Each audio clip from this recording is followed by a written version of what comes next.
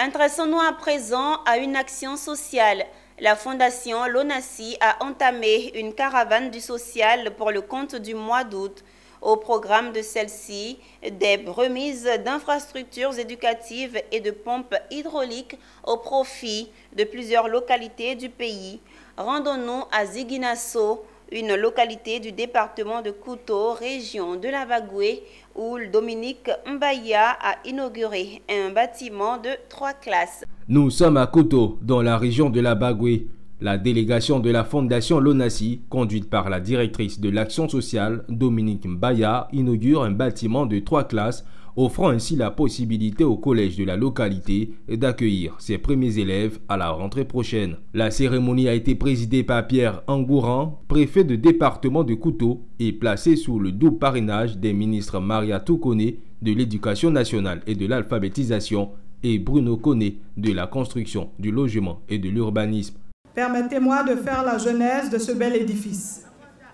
Solliciter la Fondation Lonassi ne pouvait rester insensible à cette requête d'accroître la capacité d'accueil de cet établissement scolaire. C'est pour l'éducation nationale qu'ils ont fait, mais c'est surtout pour les enfants de Saginasso, parce que le collège moderne avait grand besoin d'un bâtiment pour les enfants.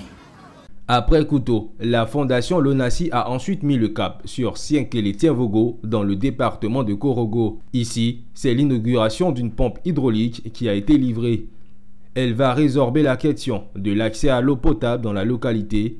L'œuvre a été inaugurée en présence du préfet de région, préfet du département de Korogo, André Assoumou, et de plusieurs élus et cadres de la région.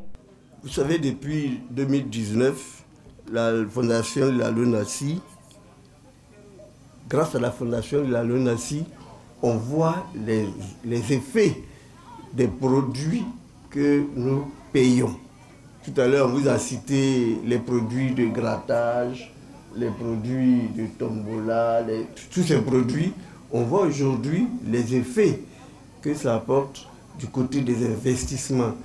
À travers ces différentes réalisations, la Fondation Lonassi démontre aussi son engagement en faveur de l'amélioration du cadre de vie des communautés rurales. Cela, conformément à sa mission qui est de contribuer, aux côtés de l'État de Côte d'Ivoire, à la lutte contre la pauvreté en réalisant des investissements dans le domaine de l'éducation, de la santé, de la culture, partout sur le territoire national.